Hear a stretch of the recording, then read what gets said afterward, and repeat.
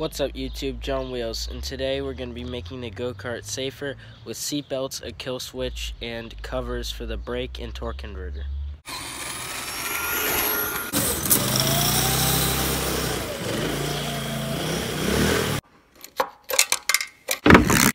Alright guys, so I just freshly got the garage all cleaned out.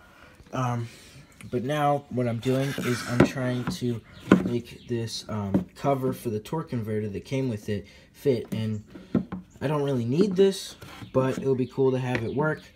Um, but basically, um, let me find my marks. Um, the chain hits at um, two certain places. So what I'll do is I'll just cut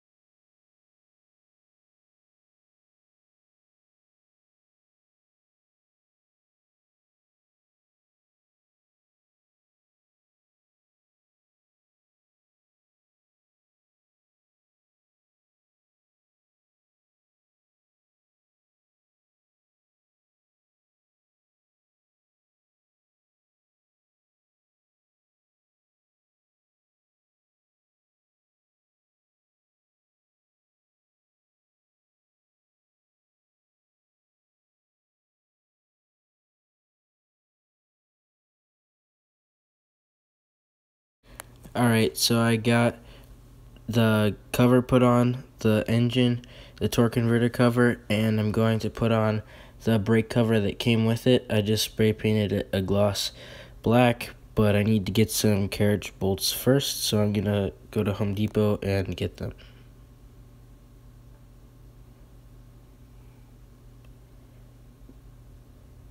Alright, so we got some tire slime for the tires, some carriage bolts and some lock nuts for the whole go-kart and some solder for the kill switch and I also got a kill switch.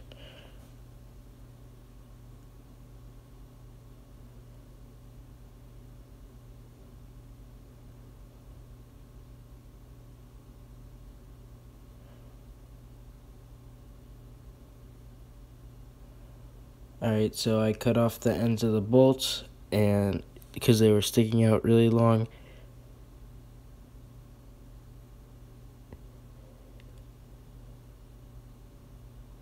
Alright, so I got a kill switch. I used my uh, solder that I got for $4 at Harbor Freight. I had uh, switched the orientation of the switch because the ground completes the circuit to shut off the engine.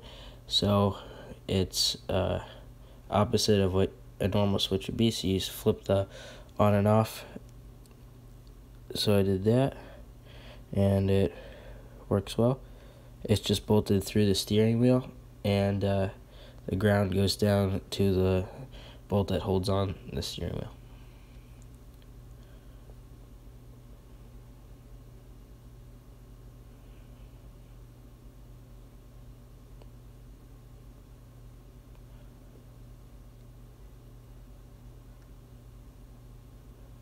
I also got some uh, seat belts on.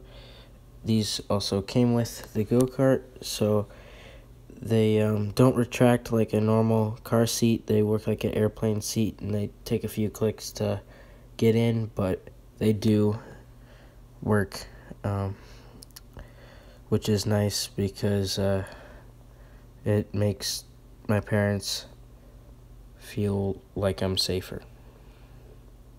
Thanks for watching. This is John Wheels. Remember to like and subscribe and leave a comment below to tell me what you thought.